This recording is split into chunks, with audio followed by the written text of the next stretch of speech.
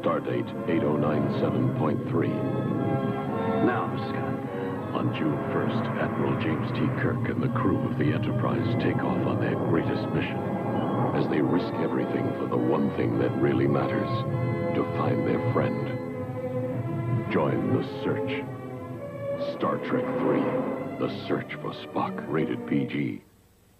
Starts Friday, June 1st at a theater near you. Check newspapers.